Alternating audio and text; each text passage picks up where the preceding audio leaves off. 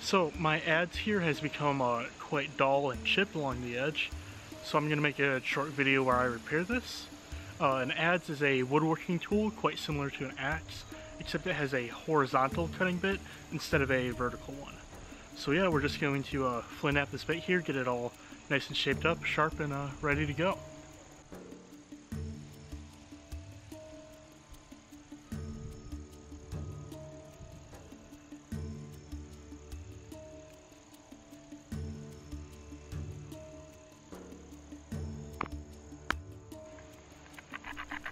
Adzes were a tool used around the world in both prehistoric and in historic times. They are preferable to an axe for doing detailed work, especially when cutting into a concave surface, like in making bowls or masks, or for hollowing out dugout canoes and making other types of watercraft. Flint knapped stone adzes like mine were but one type of adze blade. Some of these knapped adze blades are ground smooth after, leaving a more refined cutting edge which was also less susceptible to damage.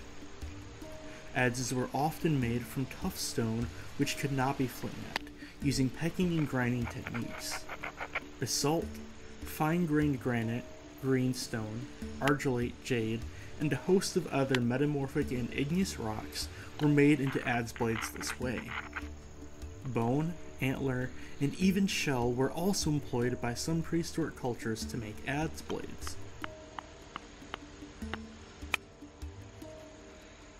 My adze blade was flint knapped from Texas Georgetown chert, which is made dull through woodworking. A branch of apple wood is the material of the handle, which is both hard and durable.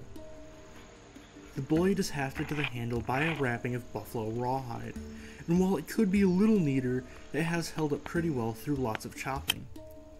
In addition, a small piece of leather was set between the blade and the wood to increase friction and help it remain in place.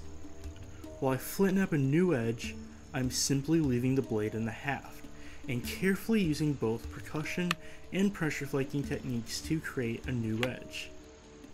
The edge of an adze, including this one, is often slightly curved and also beveled upwards.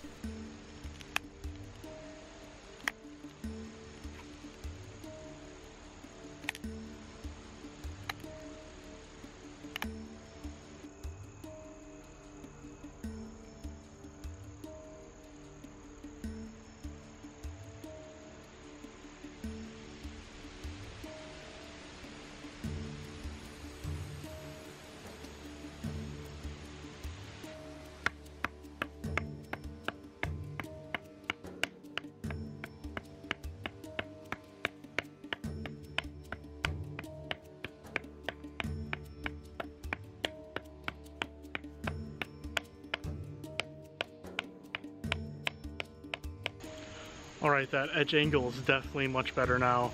Uh, I've got a lot of ridges that I've gotten rid of. It's much smoother. It's cutting a lot better than it was when I uh, last used this.